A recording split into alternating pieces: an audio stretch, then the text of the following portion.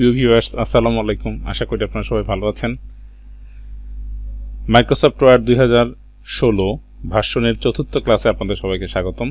আমি word open করছি। বরাবরের মতো আমি এই যে ওপেনিং যে প্রথম যে উইন্ডোটা সেই উইন্ডোটা থেকে আমি ব্ল্যাঙ্ক ডকুমেন্টে ডাবল ক্লিক করে আমি মাইক্রোসফট ওয়ার্ডের এডিটিং স্ক্রিনে প্রবেশ করলাম।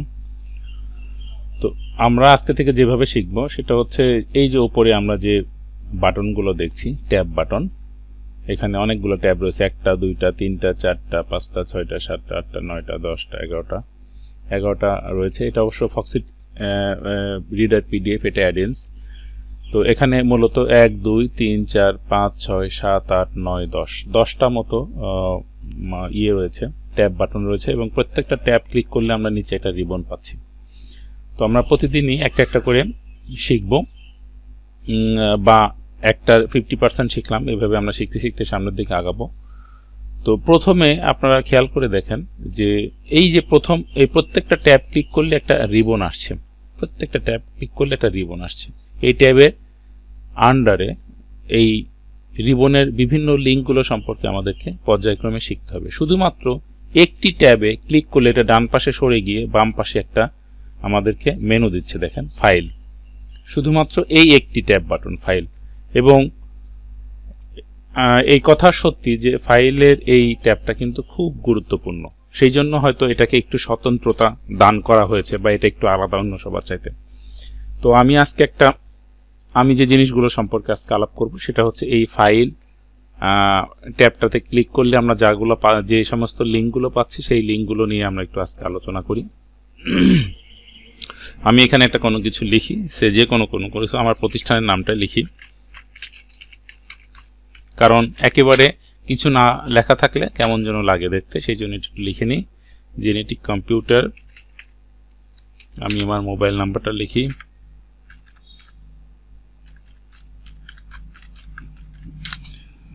আচ্ছা ভিউয়ার্স আপনারা সবসময় আমার ভিডিওটা যারা দেখছেন বা ফলো করে শেখার চেষ্টা করছেন, তাদেরকে বলছি যে আপনারা ভিডিওগুলো খুব মনোযোগের সহিত দেখেন, একটা স্ক্রিন এবং পাশাপাশি আর একটা কম্পিউটারে এটা দেখে শেখার চেষ্টা করেন। আর যদি এখানে আপনাদের অনেক কোয়েরি থাকবে বা অনেক কোশ্চিন থাকতে পারে, প্রশ্ন থাকতে পারে, তো মূল সমস্যাটা হচ্ছে যেহেতু এটা একটি অনলাইন ক্লাস তো আপনারা আমার সঙ্গে কথা বলার সুযোগ নেই। কিন্তু আপনারা যদি ভিডিওর নিচে কমেন্টস করেন, অর্থাৎ ইউটিউবে গিয়ে আপনাদের যে সমস্যাগুলো, সেটা কমেন্টস করেন, তাহলে সেই কমেন্টস ধরে আমি একটা ভিডিও উল্লেখ করব। যে কমেন্টস করবেন তার নাম ধরে। তো এতে হবে কি, আপনাদের সঙ্গে, আপনার সঙ্গে আমার একটা ইন্টারেক্টিভ একটা কানেকশন তৈরি হবে এবং আপনারা, আপনাদেরও শিখতে সুবিধা হবে। সো কোনো রকম হেজিটেশন ফিল না করে আপনার যদি কোনো কোশ্চিন থাকে তাহলে সেখানে কমেন্টস বক্সে লিখবেন, আমি সেই অনুযায়ী আবার একটা ভিডিও সাবমিট করে দেবো। আচ্ছা যাই হোক, মূল প্রসঙ্গে যাই। ফাইল আমি একটা কোনো কিছু লিখলাম। এখন দেখেন এই ফাইলটিকে কিন্তু আমরা কখনো, এখনও সেভ করা হয়নি। সেই জন্যই কিন্তু এখানে ডকুমেন্ট ওয়ান লেখা রয়েছে। যদি সেভ করতাম, তাহলে কিন্তু এখানে ডকুমেন্টের ওয়ানের স্থলে আমি যে নামে সেভ করতাম, সেটা কিন্তু লেখা থাকতো। তো আমি ফাইল মেনুতে যাচ্ছি। গিয়ে এখানে যেটা শো করছে দেখেন ইনফো বলতে এই ফাইল সংক্রান্ত ইনফোগুলো সব এখানে রয়েছে। Protect document inspect document management মানে এই ডকুমেন্টটাকে আমি কীভাবে প্রোটেক্ট করতে পারি, সেটার একটা লিঙ্ক রয়েছে। ইনস্পেক্ট ডকুমেন্ট রয়েছে, বলছে before publishing this file be aware that it contains document properties and author's name মানে ডকুমেন্টসের অথর সহ বিভিন্ন ব্যাপারগুলোর মধ্যে থাকে। ডকুমেন্টটাকে ম্যানেজ করবেন কীভাবে? আর একটা কথা আমি আপনাদেরকে বলে রাখি, আসলে প্রচুর লিঙ্ক রয়েছে, কিন্তু যেই লিঙ্কগুলো একেবারে সুপার এসেন্সিয়াল যেগুলো না জানলে আপনার কাজ করতে গিয়ে অসুবিধা হবে, সেগুলো কিন্তু আমি দেখাবো, বাকিগুলো হয়তো পর্যায়ক্রমে পরে আস্তে আস্তে দেখাবো। যাই হোক তো ইনফো লিঙ্ক দ্বারা এগুলো বোঝাচ্ছে। নিউ বলতে বোঝাচ্ছে নতুন একটা ফাইল ওপেন করা। ওপেন বলতে বোঝাচ্ছে সেভকৃত ফাইলকে ওপেন করা। সেভ এটা আমি এখন ইউজ করছি। যেমন এই ডকুমেন্ট ওয়ানটাকে আমি সেভ করার জন্য সেভ যখন ক্লিক করছি, তখন একটা পেজের মধ্যে কতগুলো অপশন আসলো? দেখেন OneDrive this PC add a place browse তো এর মধ্যে ওয়ান ড্রাইভ বলতে বোঝাচ্ছে যে আপনি অনলাইনে একটা ফাইল সেভ করে রাখতে চাচ্ছেন। ওয়ান ড্রাইভ আমি এই নামে আমার একটা অ্যাকাউন্ট খোলা আছে। মাইক্রোসফট অ্যাকাউন্ট, আপনি সেখানে রাখতে পারেন। দিস পিসি লিঙ্কে ক্লিক করলে আপনার দিস পিসির বিভিন্ন লিঙ্কগুলো দেখাবে। আপনি ডেস্কটপে চলে যেতে পারেন, সেখানে রাখতে পারেন। বা আপনি যদি মনে করেন ডি ড্রাইভের মধ্যে রাখবেন, সেখানে কিছু সরাসরি ডি কম্পিউটারে ডি ড্রাইভের মধ্যে কিছু লিঙ্কের মধ্যে রাখতে পারেন। হ্যাঁ ডকুমেন্টস বলে একটা ফোল্ডার রয়েছে, এই যে ডকুমেন্টস বলে ফোল্ডার পিসির মধ্যে ডিফল্ট সেটার মধ্যে সেভ করতে পারেন। তো অ্যাড এ প্লেস বলতে বোঝাচ্ছে, এখানে দেখেন ওয়ান ড্রাইভ রয়েছে, এই যে এইটাই, এবং রয়েছে OneDrive for business OneDrive for business আসলে তারা ইউজ করবে যারা কর্পোরেট ক্লায়েন্টস বা কর্পোরেট বিজনেস করেন। সে সমস্ত ক্ষেত্রে, তাছাড়া আপনি ওয়ান ড্রাইভ পার্সোনাল হিসেবে এখানে জায়গাটা সিলেক্ট করে দিতে পারেন। আর ব্রাউজ মানে আপনি নিজের মতো করে যেখানে খুশি সেখানে আপনি সিলেক্ট করে নেন। এই হচ্ছে সেভ অ্যাজ অ্যাজের সেভ সেভ বাটনে ক্লিক করলে এগুলো আসবে। তো যাই হোক, আমি সেভে ক্লিক করার পরে আমি এখানে ব্রাউজ করে আমি এটাকে ডকুমেন্টসের মধ্যে সেভ করে নিচ্ছি। হয়তো নাম দিলাম। কথার কথা A double D R E double S address save তো দেখেন, এখানে ফাইলটার নাম হয়ে গিয়েছে অ্যাড্রেস অর্থাৎ আমরা তাহলে আজকে কি শিখলাম? মাইক্রোসফট ওয়ার্ড দিয়ে আমরা নতুন একটা ফাইল খোলা শিখলাম এবং সেটাকে সেভ করা শিখলাম। এখন দেখেন আমরা আবারও যাচ্ছি এখান থেকে। সেভ অ্যাস তাহলে what is the difference between save and save as save এবং সেভ অ্যাজের মধ্যে পার্থক্য কী? সেভকৃত ফাইলকে আপনি যদি ভিন্ন নামে সেভ করতে চান অর্থাৎ ডকুমেন্টের সমস্ত জিনিস সেম থাকবে। এখানে দেখেন আমি যে জিনিসটা বলছিলাম, এখানে তো আমি জাস্ট শুধু দুই লাইন লিখেছি। এটা এমন হতে পারতো যে এই ওয়ার্ড ডকুমেন্টটা অনেকগুলো পৃষ্ঠার সমন্বয়ে তৈরি। প্রচুর লেখা আছে। এখানে আটটা আটটা, দশটা, পনেরোটা, বিশটা ফাইল আছে। তো এই সেম ফাইলটা আপনি অন্য একটা নামে সংরক্ষণ করতে চান। অ্যাড্রেস তো থাকবেই অন্য একটা নামে। সেই জন্যই আপনাকে সেভ অ্যাজ লিঙ্কটা ইউজ করতে হবে। এই হচ্ছে সেভ এবং সেভ অ্যাজের মধ্যে মূলত পার্থক্য।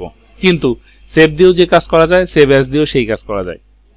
কিন্তু মূল পার্থক্যটা হচ্ছে সেভ অ্যাজ দিয়ে আপনি একটা ফাইলকে ফাইলের বিষয়বস্তু অক্ষুণ্ণ রেখে ভিন্ন নামে সেভ করবেন। আমি এটা একটু দেখাই দিই। ফাইল থেকে আমি এখানে সেভ অ্যাজে যাই। তারপর বাউস করি।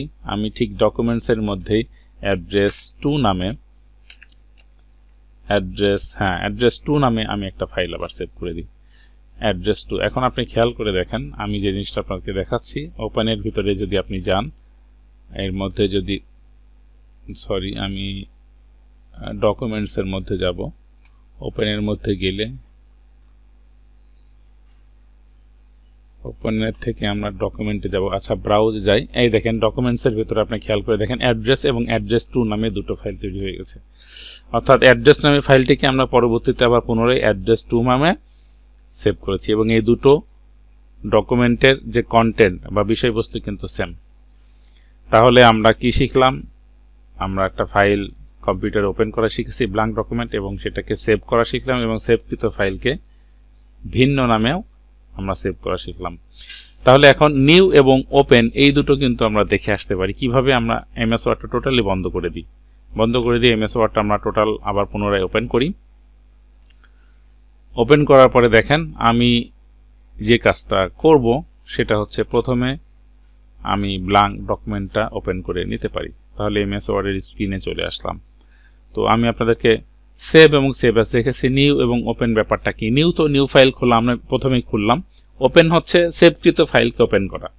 ওপেন আপনি জানেন যে কোথায় ফাইলটা সেভ করেছেন, অর্থাৎ ডকুমেন্টসের মধ্যে। ব্রাউজে গিয়ে আপনি ডকুমেন্টসের মধ্যে থেকে এই ফাইলটা ওপেন করে ফেলেন। এই যে দ্যাট মিন্স আমরা কি শিখলাম? আমরা নতুন ফাইল যে কোনো নতুন ফাইল নিয়ে বলতে কি বোঝাচ্ছে দেখেন, এখানে অ্যাড্রেস টু রয়েছে। আপনি যদি অ্যাড্রেস টু থাকা অবস্থায় নিউয়ে ক্লিক করেন এবং ব্লাঙ্ক ডকুমেন্ট ক্লিক করলে আপনার আরেকটা ফাইল তৈরি হবে। ডকুমেন্ট টু এবং আপনি নিচে এখানে খেয়াল করে দেখেন, আপনার মূলত তিনটা ফাইল খোলা রয়েছে। ডকুমেন্ট ওয়ান ডকুমেন্ট টু এবং এই যে document two document one document two আচ্ছা এটা আমি, এটা সেভকৃত ফাইল আর কি। Address two not document two তাহলে আপনার দুটো ফাইল খোলা রয়েছে। দ্যাট মিন্স আপনি যত খুশি, এখন যেমন দেখেন এখানে দুটো ফাইল খোলা রয়েছে অ্যাড্রেস টু এবং ডকুমেন্ট ওয়ান আপনি যদি নতুন আর্ট অফ নিউ ক্লিকে একটা ডকুমেন্ট খুলতে চান এবং সেখানে ব্লাঙ্ক ডকুমেন্ট ডবল ক্লিক করেন, তাহলে দেখেন এখানে তিনটা ডকুমেন্ট দেখেন ডকুমেন্ট ওয়ান অ্যাড্রেস টু এবং ডকুমেন্ট থ্রি তো এখন এখান থেকে আসলে আমি যেটা কাজ করছিলাম অ্যাড্রেস টু নিয়ে, বাকি দুটো আমরা বন্ধ করে দিতে পারি, ইচ্ছা করলে এখান থেকে। বাকি দুটো বন্ধ করে দিলাম, শুধু আমাদের হাতে থাকল অ্যাড্রেস টু ডকুমেন্টটি। আচ্ছা এখন দেখেন আমরা ইনফোটা পরে যাচ্ছি। New open save save as শিখলাম। প্রিন্ট বলতে বোঝাচ্ছে এই ডকুমেন্টটাকে প্রিন্ট করা।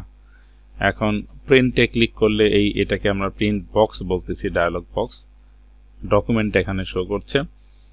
এই ব্যাপারটা সম্পর্কে আমরা একটু ধারণা রাখি, কারণ এই ব্যাপারটা যদি না জানা থাকে, তাহলে আমাদের প্রিন্ট করতে গিয়ে একটু উল্টাপাল্টা হয়ে যেতে পারে। প্রিন্ট বলতে বোঝাচ্ছে আপনার কম্পিউটারের সঙ্গে যে প্রিন্টারটা ইনস্টল করা রয়েছে সেই প্রিন্টারটা মাধ্যমে সেটা প্রিন্ট হয়ে যাবে। আচ্ছা আমি ফাইলে যাই। এরপরে একটুখানি হ্যাঁ এরপরে রয়েছে কপি। আপনি কতগুলো কপি প্রিন্ট করতে চান সেটা আপনি এখান থেকে এই আপ অ্যারোকে বা ডাউন অ্যারোকে দিয়ে নির্ধারণ করে দিতে পারেন অথবা হাতে লিখেও আপনি বলে দিতে পারেন। আচ্ছা এরপর রয়েছে এই যে কোন প্রিন্টারটা এখানে স্যামসাং প্রিন্টারে আছে, এনি ডেস্ক অনেক ধরনের প্রিন্টার রয়েছে। আপনি যেই প্রিন্টারে প্রিন্ট করতে চান, সেই প্রিন্টারটা সিলেক্ট করে দিতে হবে। এই যে সবুজ টিক চিহ্ন যেটা হচ্ছে, এটাকে ডিফল্ট প্রিন্টার বলে। মানে যেটা আপনি ডিফল্ট করে রেখেছেন, অর্থাৎ প্রিন্ট দিলে সরাসরি এই প্রিন্টারে চলে যাবে। আমি এটা স্যামসাং প্রিন্টারটাকে আমি, আমার প্রিন্টারটা স্যামসাং আমি এটাকে ডিফল্ট করে রেখেছি। এটা করবেন। এরপর রয়েছে সেটিংস এটা বেশ গুরুত্বপূর্ণ। তার কারণ, আপনি, আপনার এই যে প্রিন্ট করবে কম্পিউটার সেটা কোনটা প্রিন্ট করবে? তো এখানে প্রিন্ট অল পেজের স্থলে আমরা মানে আপনার ডকুমেন্টে যত পেজ আছে সবগুলো প্রিন্ট হবে, বোঝাচ্ছে। তারপর রয়েছে print only odd pages odd বলতে বোঝাচ্ছে বেজর সংখ্যার, অর্থাৎ পৃষ্ঠা নাম্বার এক, তিন, পাঁচ, সাত, নয়, এইভাবে প্রিন্ট হবে। ইভেন বলতে বোঝাচ্ছে জোর পেজগুলো দুই, চার, ছয়, আট, দশ, এইগুলো। আর আরেকটা রয়েছে হচ্ছে যে print current page just this page মানে শুধু এই পৃষ্ঠা। তো অ্যাকচুয়ালি আমরা যারা কম্পিউটারে সবসময় কম্পোজের কাজ করি বা প্রিন্ট করি, তারা কিন্তু এইটাই সবচেয়ে বেশি ইউজ করে। সো আপনারা একটু এটা মনে রাখতে পারেন যে প্রিন্ট অপশনে গিয়ে আপনাকে যে কাজটা করতে হবে, এখানে প্রথম কাজটা করতে হবে প্রিন্টার সিলেকশন তারপরে কত পেজ আপনি করতে চান সেটা আপনি বলে দিবেন এখানে। তারপরে এখান থেকে আমি বলব আপনারা কারেন্ট পেজটা সিলেকশন করেন।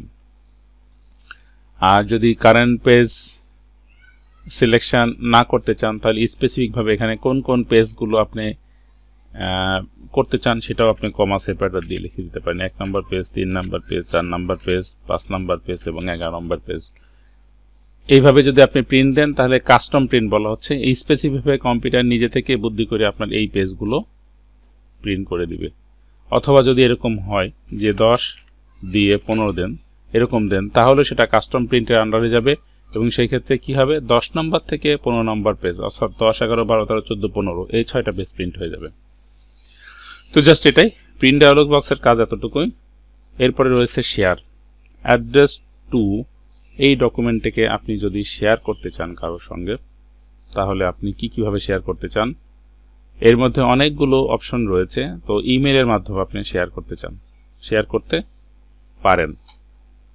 তো এই ইমেলটা আসলে আমরা এখান থেকে আপনি ইচ্ছা করলে করতে পারবেন। সেই জন্য আপনাকে আউটলুক দুই হাজার ষোলো ভার্সনটাকে কনফিগার করে নিতে হবে। অথবা আপনি সেভকৃত ফাইলটাকে অ্যাটাচমেন্ট হিসেবে আপনি যে কোনো ইমেল ক্লায়েন্ট থেকেও আপনি করতে পারবেন। তবু আমি ব্যাপারটা দেখাই দিই। এখানে সবচেয়ে জনপ্রিয় দুটো লিঙ্ক হচ্ছে ইমেল এবং সেভ টু ক্লাউড অর্থাৎ ক্লাউডে সেভ করার পরে আপনাকে এখানে লিঙ্ক হবে, সেখান থেকে আপনি অর্থাৎ এখান থেকে যে কাজটা হবে এবং এখান থেকে যে কাজটা হবে, দুটো প্রায় একই কাজ। আমি একটু দেখাচ্ছি, দেখেন। এই অ্যাড্রেস টু ফাইলটাকে আপনি শেয়ার করতে চাইলে আপনি যদি ইমেলে ক্লিক করেন, তাহলে কি হবে? দেখেন সেন্ড আস অ্যাটাচমেন্ট অ্যাটাচমেন্ট হিসেবে পাঠাতে চান আপনি। সেন্ড আস পিডিএফ পিডিএফ মানে পোর্টেবল ডকুমেন্ট ফাইল বলছে। এটা একটা ইমেজ ফাইলের মতো হয়ে চলে যাবে। সেটা হিসেবে পাঠাতে পারেন। সেন্ড আস এক্সপিএস এটা সম্পর্কেও পাঠাতে পারেন। আবার আপনি ইচ্ছা করলে ফ্যাক্স মেশিনের মতো করে প্রিন্ট করে দিতে পারেন। এই জন্য আপনি ফ্যাক্স মেশিনের মতো করে পাঠাতে পারেন। ফ্যাক্স করে। সেই জন্য একটা ফ্যাক্স সার্ভিস প্রোভাইডার লাগে। এগুলো সবই সেট করতে হয়। তো সে আপনি এটাকে অ্যাটাচমেন্ট হিসেবে যদি পাঠাতে চান, তাহলে এখানে ক্লিক করেন, আপনার দেখেন যে জিনিসটা আসছে ওয়েলকাম টু আউটলুক দু হাজার ষোলো। অর্থাৎ ওয়েলকাম টু আউট আউটলুক দুই হাজার ষোলো হচ্ছে একটা ইমেল ক্লায়েন্ট সফটওয়্যার যার, যেটাকে কনফিগার করলে আপনার এখান থেকে সরাসরি পাঠাতে পারবেন। এটা আপনারা নিজেরা যাদের, যারা আউটলুকটাকে ইউজ করতে চান, তারা ট্রাই করে দেখতে পারেন। আচ্ছা আমি এখানে are you sure you want to exit this wizard আমি এখান থেকে বেরিয়ে যাচ্ছি। তারপরে এখান থেকে শেয়ারের মধ্যে রয়েছে যে আপনি আরেকজনের সাথে শেয়ার করতে পারবেন। এই ইমেলের ব্যাপারটা এখান থেকে কীভাবে দেখেন?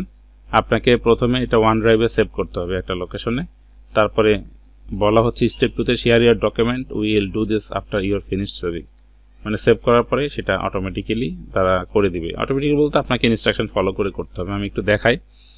সেভ টু ক্লাউডে ক্লিক করলে আমি ওয়ান ড্রাইভে আমি ক্লিক করতেছি। আদান্স কাদেরস ওয়ান ড্রাইভ আমি এটাকে ওপেন করছি।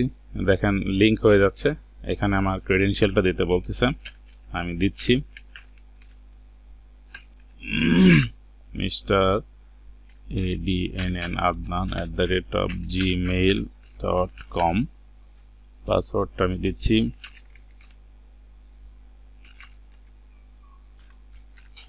দিয়ে আমি এটাকে ওকে করে দিচ্ছি।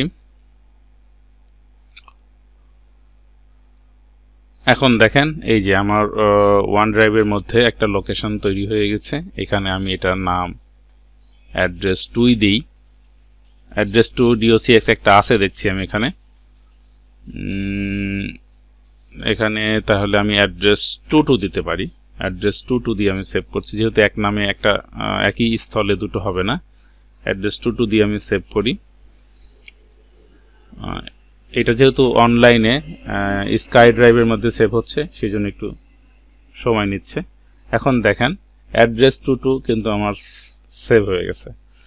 এখন পরবর্তী ব্যাপারটা রয়েছে share share with people send invitation to get sharing files share with people রয়েছে, আপনি ইমেল আচ্ছা ইমেল করলে সেন্ডার্স অ্যাটাচমেন্ট আচ্ছা আমি এখান থেকে চলে যাই। সেন্ডার্স অ্যাটাচমেন্ট দিই। আচ্ছা আমি এখান থেকে পাঠাতে চাচ্ছি না সেই জন্য আমি এখান থেকে বেরিয়ে যেতে চাচ্ছি। তো আমাকে এখন যে কাজটা করতে হবে, সেটা হচ্ছে যে শেয়ারিংয়ের জন্য আমি ফাইলটা প্রথমে ওপেন করি। আমি ওয়ান ড্রাইভের মধ্যে ঢুকি। এখানে অ্যাড্রেস বাইশ এই ফাইলটা ছিল, ডান বাটন ক্লিক করলে। ফাইলটা এখানে আসছে। দেখেন, এই কাজটা আপনি কিন্তু এখান থেকে করতে পারবেন। মানে ওখান থেকে করার চাইতে এখান থেকে করলে আপনার একটু সুবিধা হচ্ছে, কারণ এখান থেকে আপনি লিঙ্কটা সহজে নিতে পারবেন। দেখেন শেয়ারে ক্লিক করি। এই ব্যাপারটা আমি আগেও একদিন দেখিয়েছিলাম। আপনার এখানে আপনি সেভ করে রাখেন, কাকে কাকে পাঠাতে চাচ্ছেন। এখান থেকে টু দিয়ে আমি ওকে করেন। তারপরে এখান থেকে গেট এ শেয়ারেবল লিঙ্ক এখান থেকে আমি একটা লিঙ্ক কপি করে নিচ্ছি। দেখেন, এই লিঙ্কটাকে আমি কপি করে নিলাম। নেওয়ার পরে আমি এটাকে কন্ট্রোল ভি দিয়ে এখানে আমি এটাকে অপশন করে দিলাম।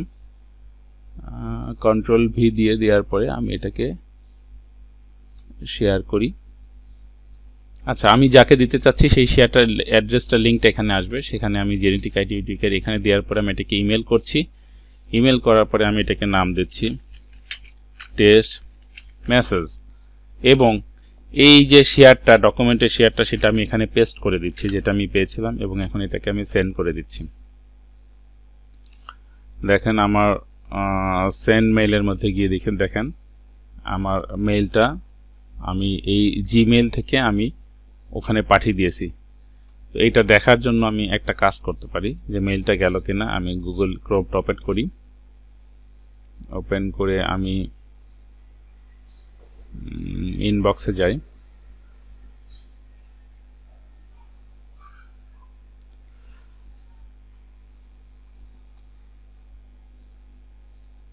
এইটা দেখেন দশটা পঁচিশ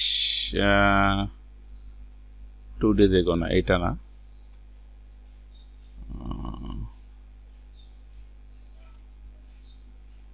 টেস্ট মেল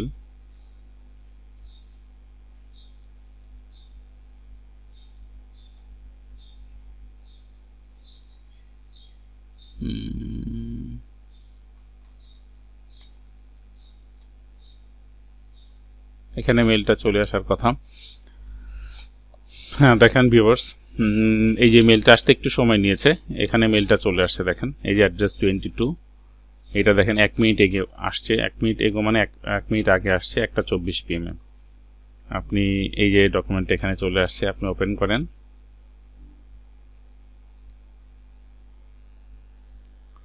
এই যে এখান থেকে আপনি পিডিএফ এইচটা ডাউনলোড করে নিতে পারেন, ইচ্ছা করলে আমরা একটু দেখি।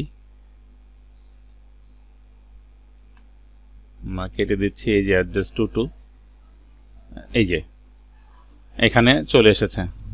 আমার বক্তব্য যেটা ছিল ভিউয়ার্স সেটা হচ্ছে যে আপনি ইচ্ছা করলে কোনো ডকুমেন্ট আপনি এখানে লিখে সেটা ইমেলের মাধ্যমে কাউকে শেয়ার করে দিতে পারবেন। এই সুযোগটা আপনার এখান থেকে রয়েছে। তারপরে রয়েছিল হচ্ছে এক্সপোর্ট এক্সপোর্ট বলতে এই ডকুমেন্টটাকে আপনি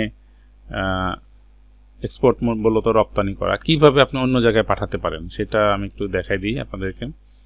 এক্সপোর্টে ক্লিক করি ক্রিয়েট পিডিএফ এবং এক্সপিএস এক্সপোর্ট করার জন্য এই পিডিএফ এবং এক্সপিএস এই লিঙ্কটা অনেক গুরুত্বপূর্ণ বা জরুরি। এর মধ্যে পিডিএফটা সবচেয়ে বেশি ইউজ হয়। পিডিএফ করলে আপনার ডকুমেন্টটা হুবহু একজন দেখতে পারবে, কিন্তু এডিট করতে পারবে না, সে শুধু প্রিন্ট করতে পারবে, দেখতে পারবে এবং প্রিন্ট করতে পারবে। তো সেই জন্য আপনি এখানে ক্লিক করুন। ক্লিক করার পরে আপনাকে একটা সেভ করার অপশন দিবে। আপনি কোথায় সেভ করতে চান?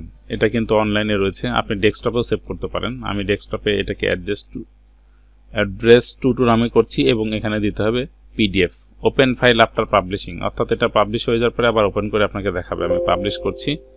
Do want to replace it yes একটা ফাইল ছিল, আবার রিপ্লেস হলো। দেখেন এটা চলে আসছে। আমি এটা থেকে আপনাদেরকে দেখিয়ে দিই মিনিমাইজ করে। দেখেন অ্যাড্রেস বাইশ নামে একটা পিডিএফ ফাইল আপনার ডেস্কটপের উপরে তৈরি হয়ে গিয়েছে। তো এটাও আশা করি আপনারা বুঝতে পেরেছেন যে কোনো একটা ফাইলকে আপনি যদি পিডিএফ অথবা এক্সপিএস আকারে সেভ করতে চান, তাহলে আপনাদেরকে এক্সপোর্টে যেতে হবে। আমি আজকে আপনাদের পিডিএফটা দেখালাম। পিডিএফ শব্দের অর্থ হচ্ছে পোর্টেবল ডকুমেন্ট ফাইল এটা খোলার জন্য অ্যাডোব অ্যাক্রোবেট রিডার বা যে কোনো পিডিএফ রিডার সফটওয়্যার লাগবে, যা দিয়ে আপনি এটাকে ওপেন করতে পারবেন। আমার এখানে আমি ফক্স ফক্সিট ফক্সিট রিডার এটাকে ইনস্টল করে রয়েছে এটা একটা ফ্রি সফটওয়্যার যে কারণে এটা অ্যাড্রেন্স আকারে এই মাইক্রোসফট ওয়ার্ডের সঙ্গে সংযুক্ত হয়ে গিয়েছে। আচ্ছা এরপরে রয়েছে হচ্ছে ক্লোজ ক্লোজ মানে এই ফাইলটাকে ক্লোজ করা। আমি একটু দেখাই দিই জাস্ট কিছুই না। ক্লোজ হয়ে গিয়েছে। এরপরে রয়েছে অ্যাকাউন্ট অ্যাকাউন্ট বলতে বোঝাচ্ছে, আমি একটু ক্লিক করি। আগে একটা নিউ ফাইল খুলে নিই, তাহলে আমাদের জন্য সুবিধা হবে। অ্যাকাউন্ট বলতে বোঝাচ্ছে, এখানে দেখেন আদনান নামে একটা অ্যাকাউন্ট করা রয়েছে। আপনি যদি এই অ্যাকাউন্টটাকে সাইন আউট করে নতুন অ্যাকাউন্টে ঢুকতে চান বা অ্যাকাউন্টটাকে সুইচ করে আপনার যদি দুইটা অ্যাকাউন্ট থাকে, অন্য অ্যাকাউন্টে যেতে চান, সেই কাজগুলো আপনি এখান থেকে করতে পারবেন। আর অপশন বলতে একটা ব্যাপার রয়েছে। দেখেন এই যে যে পর্দাটা আসলো অপশন এটা অন্য জায়গা থেকেও রয়েছে এই লিঙ্ক কিন্তু আপনি এখান থেকেও যেতে পারেন। এই অপশন অপশনে আসলে আপনি মাইক্রোসফট ওয়ার্ডের বিভিন্ন সেটিংসগুলো রয়েছে। সেই সেটিংসগুলো আপনি এখান থেকে চেঞ্জ করতে পারবেন। এটা আসলে অ্যাডভান্স ইউজারদের জন্য। আপনি আস্তে আস্তে এগুলো আপনি নিজেও শিখে যেতে পারবেন। আমি যেমন দেখাই, দু একটা জিনিস দেখাই। দু একটা জিনিস দেখাই। যেমন দেখেন সেভের মধ্যে রয়েছে save files in this format star dot DOCX তো আপনি ইচ্ছা করলে পুরাতন যে মাইক্রোসফট ওয়ার্ডগুলো ইউজ করতো, তার এক্সটেনশন ছিল ডিওসি আপনি যদি ডিফল্ট দিয়ে রাখেন এটা তাহলে আপনার কিন্তু এই মাইক্রোসফট ওয়ার্ডের ফাইলগুলো স্টার ডট ডিওসি ফরম্যাটে সেভ হবে। সেটা আপনি এখান থেকে করে নিতে পারেন। তো এরকম বিভিন্ন ধরনের রয়েছে। অ্যাডভান্সের মধ্যে এখানে, এখানকার মধ্যে রয়েছে যে অটো আপনার অটো রিকভারি এভরি ইনফো অর্থাৎ প্রতি দশ মিনিট পর পর অটোমেটিক্যালি কম্পিউটার কম্পিউটার আপনার এই ফাইলটাকে সেভ করে রাখবে। সেটা আপনি কম বেশি করে দিতে পারেন। আমি এখানে এসে কথা কথা, আপনি পাঁচ মিনিট দিয়ে দেন, সেটা করতে পারেন। তারপরে অটো রিকভার ফাইল লোকেশন ফাইলটা রিকভারি হয়ে কোথায় থাকবে অটো রিকভারি হয়ে? তারপরে ডিফল্ট ফাইল লোকেশনটা আসলে কোথায়? আপনি এইগুলো সব জিনিসগুলো এখান থেকে কিছু জিনিস চেঞ্জ চেঞ্জ করে দিতে পারেন। এটাই হচ্ছে ওয়ার্ড অপশনের কাজ। তো বন্ধুরা, এই ছিল আজকের কিছু ইনফরমেশন এইগুলো আপনারা নিজে নিজে বাসায় আবার একটু দেখেন, নিজে নিজের সঙ্গে বুঝেন এবং যেখানে বুঝতে পারছেন না সেটা আপনি একটা খাতায় নোট করে ফেলেন এবং আমাকে মেসেজ করে জানান বা কমেন্টসে লিখে জানান। সেটা নিয়ে আমি বিস্তারিত আবার হয়তো পরবর্তী ক্লাসে আপনাদেরকে দেখাতে পারি। তো আজকের মতো এখানেই শেষ করছি। কোথা হাফেজ, ভালো থাকবেন। Bye bye, tata.